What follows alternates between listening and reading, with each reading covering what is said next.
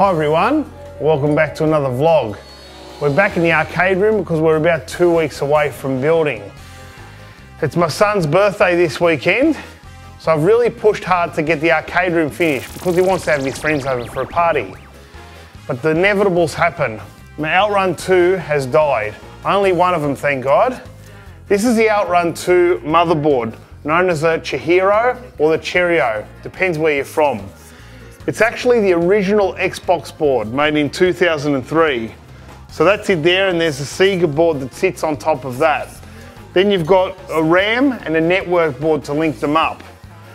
So my Cheerio died, or my Chihiro, and now I had the um, unfortunate task of finding one of these things and it wasn't easy at all. Okay, so I've bought a whole new Chihiro system. The problem is, because I live in Australia, we get the export version. But these machines are the Japanese versions, like this one here. And I can't link them up. So I have to somehow tell the motherboard that you're now a Japanese version. And that was no easy task. I looked on the internet everywhere and to my surprise, there's just hardly any information on it. However, I found a way out of it. A friend sent me out a chip that I can plug in the Cheerio system and change the region code. Let's hope it works. So what I've had to do is put the chip inside of the Chihiro. This is usually where the security chip goes. For instance, Outrun security chip. That's Outrun's. That's the security chip that's going to change the region. Let's give it a try. So what we've got to do is enter the menu. Go to system information. Now you'll still see export. What we've got to do is push the service button 15 times.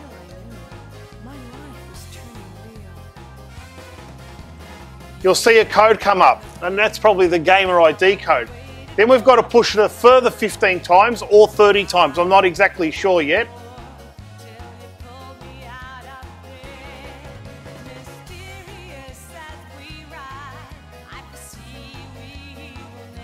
There we go.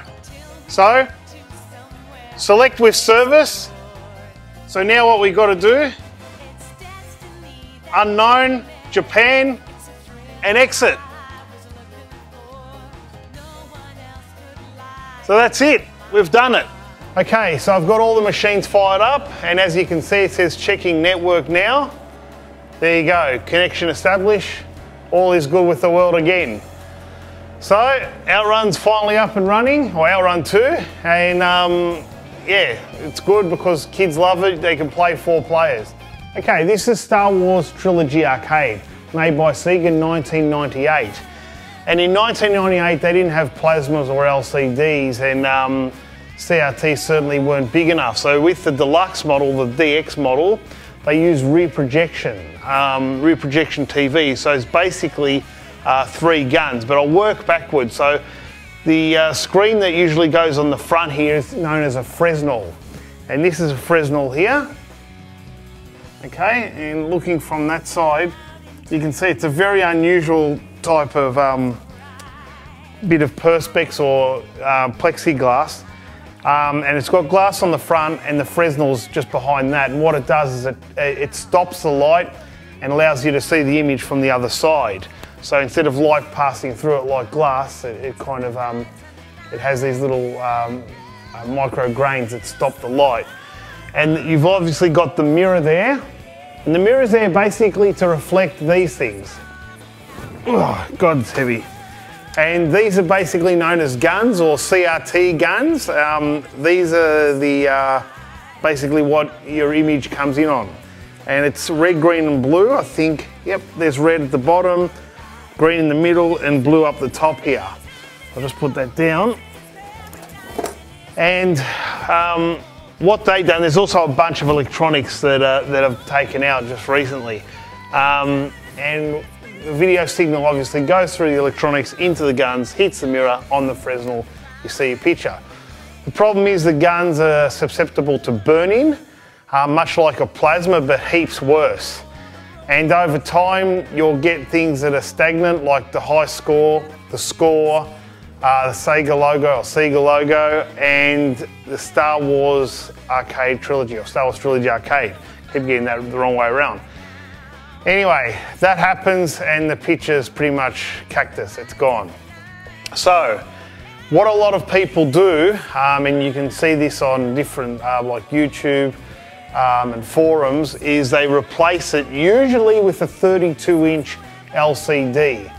Um, not comfortable in doing that because you're changing the aspect ratio, that's the first problem. Secondly, you're bringing it in from a nice 50 inch to a 42 inch, and even that'd be less. It actually works out to 36 inch because if you're keeping the original aspect ratio of a widescreen and all that, heaps of problems. So I actually started to say, well, I'll put a projector and use the same um, principle in bouncing off the screen, off the glass, off the mirror, onto the Fresnel, but I had my own issues with doing that. It needed to zoom. Anyway, coming for a long story short, I've had to buy a Philips LCD, and um, this Philips is 46 inch. It's a commercial panel. The picture looks amazing. I've already had a quick look. So I'm about to build it, put in the screen. It's going to take me probably half the day. I thought I'll quickly show you guys and give you a look at it. Um, it's about 20 mil too big, so I've got to slightly stretch out the cabinet to fit it in. It's the big, it's the, like I searched everywhere for it, so it's the biggest one I could find that'll just fit in the cabinet without breaking it. And yeah, 46 inch, and I've never seen anything over 42. So at least I'm gonna have that. So I'll stop the camera now, I'll do my work, and we'll come back and have a look. Okay, so finally finished it, and that's the LCD panel, the Philips there. Um, as you can see, it looks very, very good, and I've tried to give it um, less height up the top and a bit more at the bottom because you've got these big speakers here.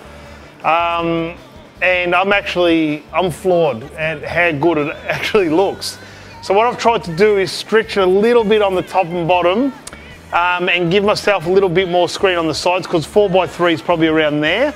So I've just brought it in a bit closer so I get more screen closer to the original. But yeah, yeah, I'm just amazed. And that took me about two hours to do. So I've put all the brackets there. I should have filmed it, but that's okay. You get the point. So I'll be doing this also to my Daytona 2s, and they're the full DX cabinets, the deluxe, and they've got the 50 inch projectors. Again, they look crap. But yeah, I'm, I just can't get over how good it looks. Um, yeah, I've tried another TV a cheaper brand and it looked pathetic. That's why it kind of put me on. But when a friend of mine, Daytona, put me on to this um, commercial panel, Philips commercial panel, I was, um, I was amazed. So yeah, thanks to Daytona and thanks to um, Matt for getting me this from Philips. Um, couldn't be happier. Well, that's it for now and I'll see you on the next vlog. Bye for now.